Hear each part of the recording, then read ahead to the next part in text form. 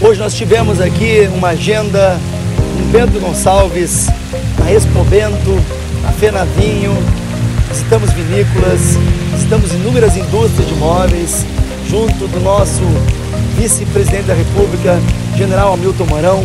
Também participamos de uma palestra na SIC de Bento Gonçalves, que com certeza nos enche de orgulho a Serra Gaúcha.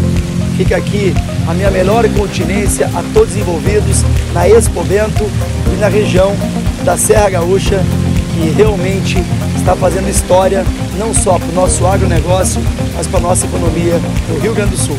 Um grande abraço!